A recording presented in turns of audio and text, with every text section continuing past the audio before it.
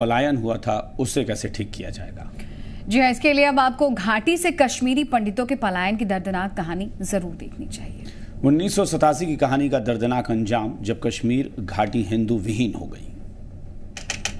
1976 के copyright act के मुताबिक आलोचना टिप्पणी न्यूज़ रिपोर्टिंग अध्यापन और रिसर्च के लिए कॉपीराइट कंटेंट का इस्तेमाल हो सकता है।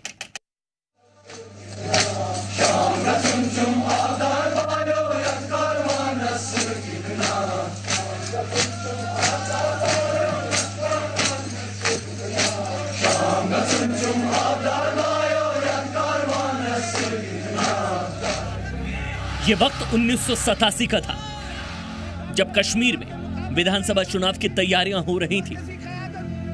कश्मीर में कट्टरपंथी जमाते इस्लामी यूनाइटेड मुस्लिम फ्रंट बनाकर चुनाव लड़ रही थी, जो घाटी को इस्लामिक राज्य बनाना चाहती थी।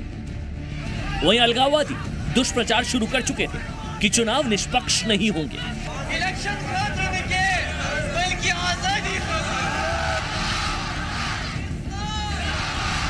We see these elections as a military process. Let's uh, agree for some time that India is going to have elections in Kashmir. How can you justify the presence of 600,000 troops?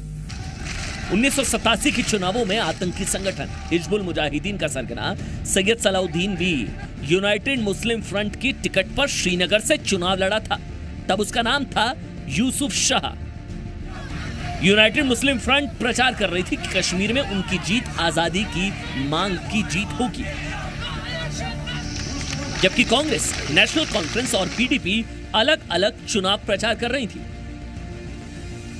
National Conference is going to win, hands down, and form the next government. 23 मार्च उन्नीस सौ सतासी को जम्मू कश्मीर में चुनाव हुए। National conference को 40 सीटें मिली कांग्रेस को 26 और यूनाइटेड मुस्लिम को सिर्फ़ चार सीटें मिली। यूसुफ शाह उर्फ़ सैयद सलाउद्दीन चुनाव हार गया। इसके बाद बुरी तरह बौखलाई यूनाइटेड मुस्लिम फ्रंट और यूसुफ शाह ने हिंसक प्रदर्शन शुरू कर दिया। चुनाव के बाद कांग्रेस के समर्थन से फारूक अब्दुल्ला मुख्यमंत्री बने।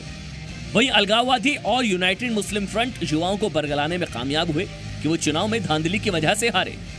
यूसुफ शाह के नेता बनने का सपना टूटा तो वो पाकिस्तान पहुंचकर हिजबुल मुजाहिदीन में शामिल हो गया और उसका नया नाम था सैयद सलाउद्दीन। हिजबुल मुजाहिदीन ने कश्मीर में जिहाद का ऐलान किया। और उन्नीस से कश्मीर में आतंकवाद का दौर शुरू हो गया। मस्जिदों से धमकियाँ मिलनी शुरू हो गई कि कश्मीरी पंडित या तो मुसलमान बन जाए या फिर मरने के लिए तैयार रहे। उधर कट्टरपंथियों के आगे फारूक अब्दुल्ला ने सरेंडर कर दिया। और कश्मीरी पंडितों का कत्लेआम शुरू हो गया। दिसंबर उन्नीस में कश्मीरी पंडितों के खिलाफ जिहाद के ऐलान के बाद 300 से ज़्यादा कश्मीरी पंडितों की क्रूरता से हत्याएँ हुई। कई हिंदू महिलाओं को बलात्कार के बाद बड़ी बेरहमी से मारा गया, बच्चों का गला घोटा गया। इसके बाद 19 जनवरी 1990 को साठ हज़ार से ज़्यादा बेबस कश्मीरी पंडितों ने घाटी छोड़ दी। और देखते ही देखते कश्मीर घाटी हिंदू विहीन हो गई। ये उन्नीस की कहानी का दर्दनाक अंजाम था। Bureau report Zee media.